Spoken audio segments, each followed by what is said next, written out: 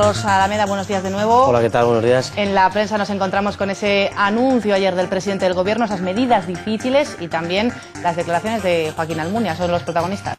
Exactamente, son los que están acaparando las portadas durante el día de hoy. Vamos a empezar con el periódico de esta casa, con La Gaceta. La plataforma Reconversión pide un referéndum sobre el modelo autonómico, titula.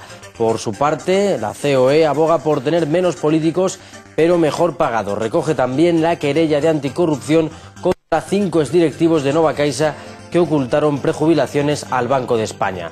El Mundo dice Rajoy rectifica, anuncia otro ajuste, estudia aumentar el IVA del 8% al 18% en productos como transporte, hoteles, cine y alimentos destaca la rebelión de los fiscales de la audiencia por la retirada de sus escoltas. Asegura también que 200.000 activos fingen ser jubilados para no pagar sus medicinas. En el país, leemos Rajoy augura más medidas difíciles mientras que Moody's rebaja la calificación a bono basura de siete bancos españoles. Fotografía para dos hispanos en Phoenix lamentando la decisión del Tribunal Supremo de Estados Unidos que avala la persecución de los sin papeles en Arizona. ABC recoge las palabras de Joaquín Almunia, las recomendaciones de Bruselas son obligaciones para España. Rajoy creará el céntimo verde, dice, para las gasolinas. Remarca que Rabat trabaja con Interior para evitar que la isla de Perejil se convierta en una base lanzadera de pateras.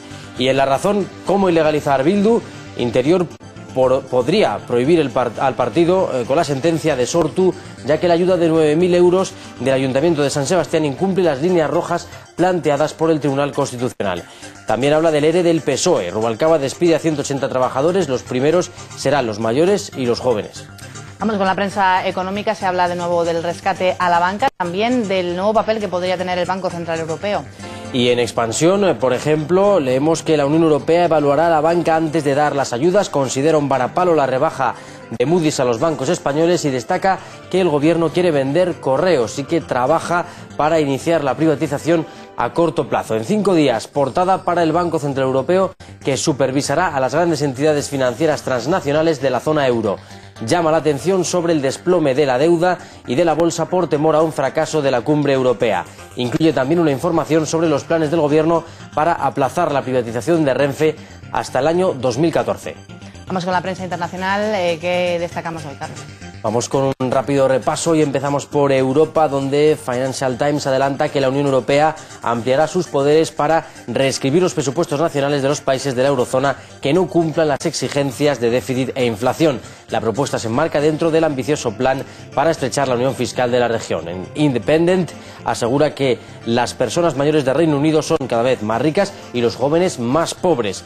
El diario recoge una investigación del Instituto de Estudios Fiscales que afirma que los jóvenes obtienen cada vez menos ingresos. En Alemania, Die Welt se hace eco de la rebaja de la nota de 28 bancos españoles. Destaca que justo después de la petición de socorro del gobierno a Europa, Moody's empuja a España hacia una espiral descendente.